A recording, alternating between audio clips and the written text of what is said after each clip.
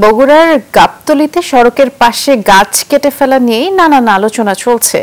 এর মধ্যে থানায় মামলাও হয়েছে। স্থানীয়দের অভিযোগ, গ্রামবাসী কিংবা প্রশাসনকে না জানিয়ে শতাধিক মানুষ নিয়ে মাত্র দুই ঘণ্টার মধ্যে গাছগুলো কেটে ফেলেন গাবতলি উপজেলা বিএনপির যুগ্ম সাধারণ সম্পাদক আহমেদ সুমন।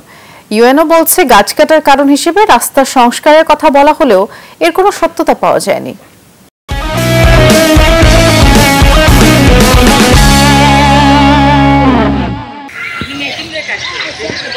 বছর বিশেক আগে রাস্তার পাশে সারিবদ্ধভাবে ফলদ গাছগুলো রোপণ করেছিলেন স্থানীয়রা। দীর্ঘদিনের কাঁচা রাস্তাটি কয়েক বছর আগে পাকা হলেও গাছগুলো বহালি ছিল। গত শনিবার দুপুরে স্থানীয় বাসিন্দা ও উপজেলা বিএনপির যুগ্ম সাধারণ সম্পাদক আহমেদ সুমন শতাধিক বহিরাগতকে নিয়ে একে একে কেটে ফেলেন আম, চালতাসহ বারোটি ফলদ গাছ, অভিযোগ স্থানীয়দের। এক দেড়শো ছেলে পঁচিশ তিরিশটা হুন্ডা গাড়ি বোঝা করে নিয়ে আসে। বিল গাড়ি ওই এরকম বসে থাকল ওই চেঙ্গা ফেলা নিয়ে সমান ইয়ে করল এটা গাছ পটপট অল্প সময়ের মধ্যে গাছ কাটে। বাধা দিই তো সন্ত্রাসী যে দলগুলো আসছিল তারা আমার খেলা নিয়ে যায়, এদিকে গাছ কাটা শুরু করে। বিষয়টি নিয়ে কথা বলতে গিয়ে বাড়িতে পাওয়া যায়নি আহমেদ সুমনকে। তবে মোবাইল ফোনে ওই বিএনপি নেতা দাবি করেন, বর্ষায় পাকা সড়কটি ভেঙে যাবার শঙ্কায় দুই ধারে রক্ষণাবেক্ষণ কাজের জন্যই গ্রামবাসীদের সাথে নিয়ে তিনি গাছগুলো কেটেছেন। রাজনৈতিক কারণে তার বিরুদ্ধে মিথ্যা অভিযোগ করা হচ্ছে।